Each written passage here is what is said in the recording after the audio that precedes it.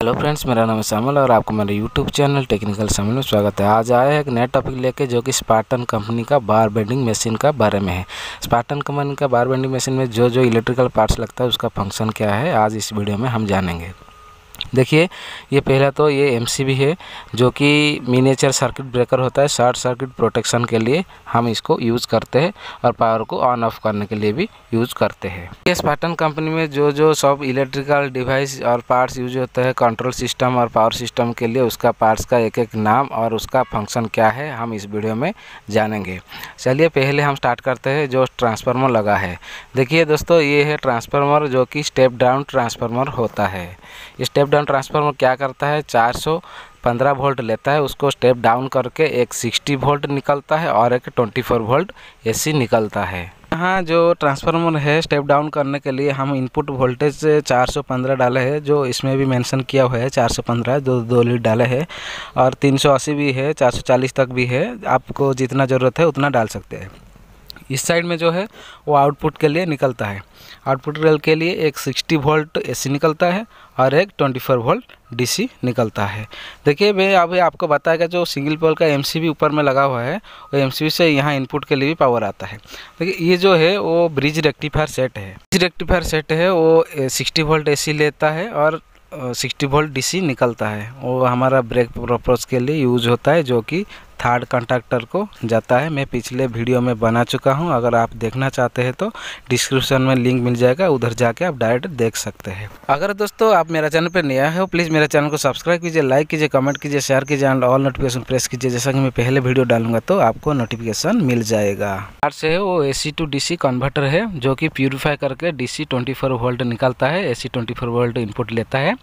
तो ये हमारा जो पीएलसी को जाता है पीएलसी को ऑन करने के लिए, हमारा कंट्रोल सिस्टम को ऑन करने के लिए हम 24 वोल्ट डीसी यूज़ किए हैं। फेयरवेल में लिखा हुआ है, ये 24 वोल्ट एसी है, और इसका लेफ़्ट में ज़ीरो वोल्ट नेगेटिव है, ये डीसी के लिए है, और ये 24 वोल्ट डीसी है। वो zero volt negative to 24 volt DC measurement करेगा तो आपको डीसी वोल्ट दिखाएगा, और ऊपर में देखिए ज़ीरो वोल्ट एसी है, और नीचे जो ट्वेंटी वोल्ट एसी है, उसको मेज़रमेंट करेगा तो आपको ट्वेंटी वोल्ट एसी दिखाएगा। तो इसका काम ये होगा कि ये हमारा A C to D C convert करता है प्योरीफाई करके हमारा जो पी एल सी है, वो पी एल सी को देता है। ये जो पी एल सी है, ये प्रोग्रामेबल लॉजिक कंट्रोल है। सिस्टम जैसा काम करता है, जैसा कि पहले से प्रोग्रामिंग करके इसका अंदर में दिया जाता है, जैसा कि उसको कमांड मिलेगा, जो कमांड मिलता है, उसका हिसाब से काम करता है। इसको 24 वोल्ट डीसी मिलेगा तो ये जो पीएलसी का कंट्रोलर है, वो ऑन हो जाएगा।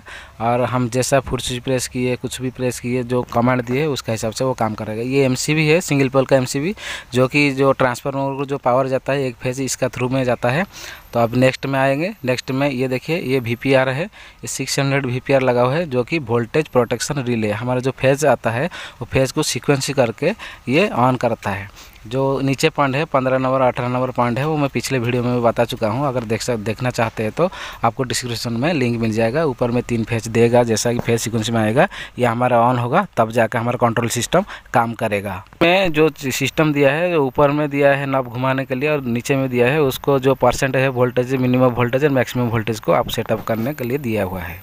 ये मैं भी बताया था पिछले वीडियो में, ये थर्ड कंट्रैक्टर काम करता है ब्रेक पर्पज़ के लिए, ये फास्ट कंट्रैक्टर फॉरवर्ड के लिए एंड ये जो है, सब एन ओ एन सी लगा हुआ है, और ये भी सेकंड कंट्रैक्टर रिवर्स के लिए काम करता है, और थर्ड कंट्रैक्टर ब्रेक के लिए काम करता है। ये ऊपर में लगा हुआ है, ये वो एक्स्ट्रा लगा हुआ है एन ओ एन सी के लिए, हम जो आइडेन ब्लॉक यूज़ किए हैं उसके लिए, ये एनसी के लिए यूज़ किए हैं, हम कंट्रोल सिस्टम के लिए। तो ये हो गया इसका अंदर का पार्ट्स के बारे में और ये हमारा कनेक्टर है जो कि हम लीड कनेक्ट करके पावर सप्लाई उसको पास करवा के लेते हैं। इलेक्ट्रिकल पार्ट्स है उसको भी देख लेते हैं।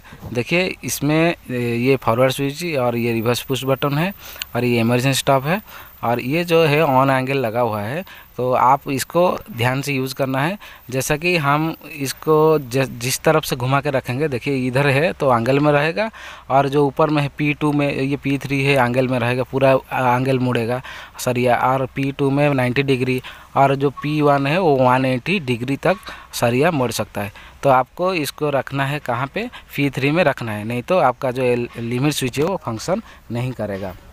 देखिए, इसमें सरिया डाल के हम जैसा घुमाएँगे, ये दो लिमिट स्विच दोनों तरफ़ में है। ये एक फॉरवर्ड के लिए काम करता है और एक रिवर्स के लिए काम करता है। जैसा जा कि हमारा जो पिन डाला हुआ है पिन अगर आके उसका साथ में टच होता है तो इसको हीट करता है। तो हीट देने के बाद में ये हमारा जो कंट्रोल सिस्टम को ऑफ़ कर देता है कि हमारा जो लिमिटेशन में पहुँच गया है, हमारे मशीन को ये बंद कर देता है। दोस्तों, ये था छोटा सा जानकारी। Thank you for watching